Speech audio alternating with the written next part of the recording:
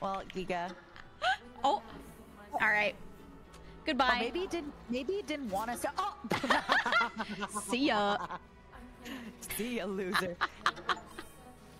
I won't hesitate, you bitch. Look, I deserve it because when I played the other one with Joel, I pushed him into the water and didn't let him onto the raft. We had a Titanic moment, and I was like, "Get off!" and I lived. I'm so uh, this is what I deserve.